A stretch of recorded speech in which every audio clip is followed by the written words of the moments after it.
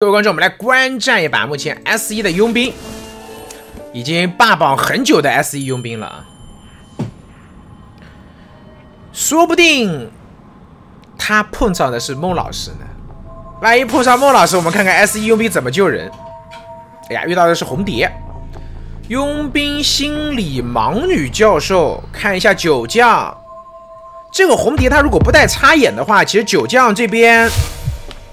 有有说法，第一波红蝶这边好像看到了，哎呀，第一时间直抽中场，那没了呀，这把毛女被看到，操作不了，即便强如九将也操作不了。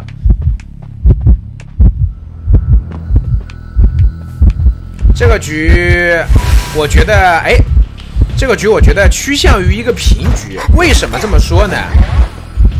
他这边怕震慑，为什么这么说呢？因为盲女呢，首先保不住，但是外围这三个人，你别说，这三个人都挺硬的。一波飞跟下来，还敢交互？啊？反正横竖都是一刀，对吧？万一你这边失误没打中，也行吧，也行吧。溜不动，溜不动，溜不动。被找到是真溜不动。这盲女只有躲猫猫。牵制是真牵制不了，佣兵的话来，我们看看佣兵怎么救人啊！这波佣兵可能不救了。心理学家这边密码机被赶到，我不救人。教授也没动作啊。佣兵这边过来，有壳，还行还行还行。佣兵这边的话，如果说能够卡半救，这卡半救极限血线，容易吃一个什么呢？吃一个飞天落地双刀，落地顶壳。好吧，还要帮忙扛一刀，这么相信酒将吗？那这波佣兵既然帮忙扛了一刀了，要干嘛呢？逼出闪现啊！对于，哎，逼不出闪现啊。呃，佣兵这边的话，移情不要给。这个时候大家注意啊，如果我是心理学家，我这个移情一定不给这个佣兵。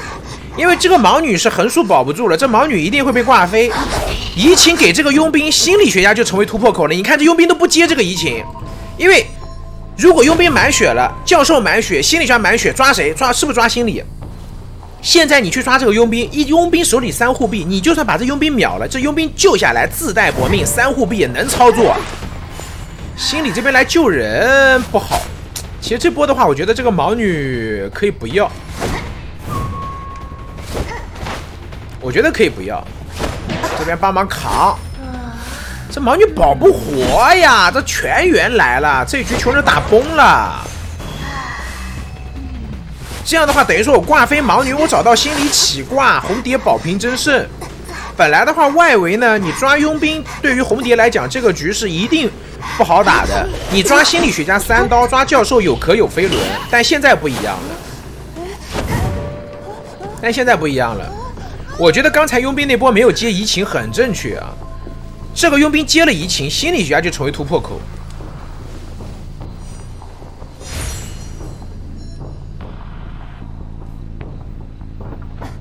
找到心理，对于红蝶来讲，这波击倒心理学家之后，外面的密码机不够，你要派人来救。而且呢，佣兵是个半血，救人就要吃双刀，你只能教授来救。教授这边的话，位置还被排到了，感觉横竖都是个多抓局啊。这波不救会好一点，或者说呢，压着看情况偷可能会好一点。再片刻，飞轮全交了，追过来一刀，好有。而且这边救下来以后，感觉立马得吃刀啊！总有一个人要吃刀吧？完了，多抓。呃，第二波救人救盲女，把求生者给打崩了，有点崩。那波，呃，求生者投资了太多太多的资源到。这边去，但是他们的收获又太小，盲女压根儿扛不住啊！红蝶，当然这个红蝶这个闪现交的够果断啊！就如果说这套阵容，他们过去救人的是古董勘探这一类能打架的角色呢，我觉得倒是可能有点说法啊。顶壳可以，这边拖出了一个壳，但心理这边走不了啊，这个心理怎么走啊？飞过来，一刀挂飞。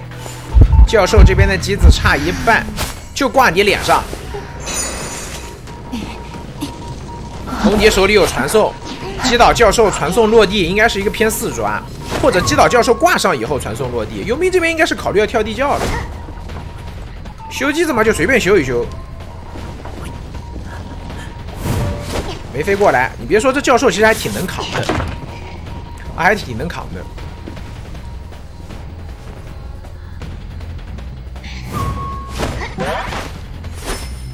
看到佣兵的机子了，你传吧，你总得挂上传。那佣兵这边撒手吧，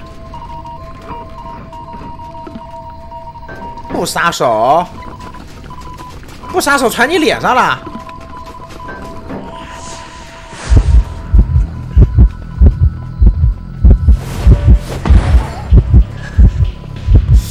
这波不撒手，不就传你脸上追四抓了吗？你又救不下这个人。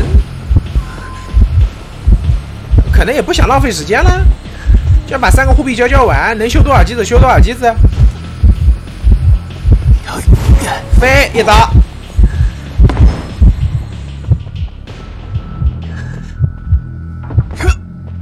还能救波人。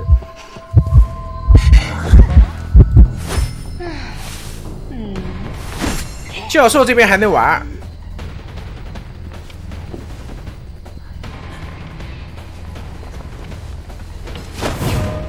飞过来一刀，砸板。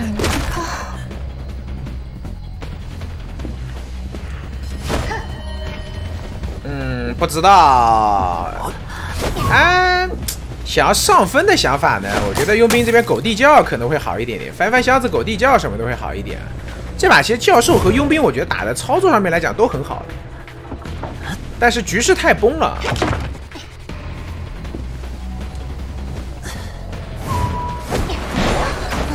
哎，这佣兵再回去修机子啊！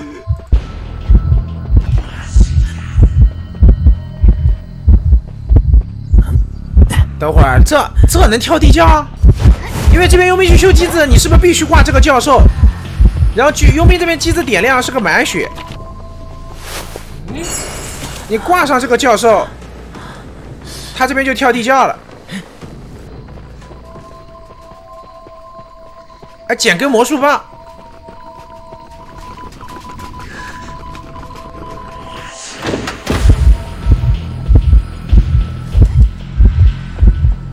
难道这一切都在他的安排之中？他不会把自己卡住了吧？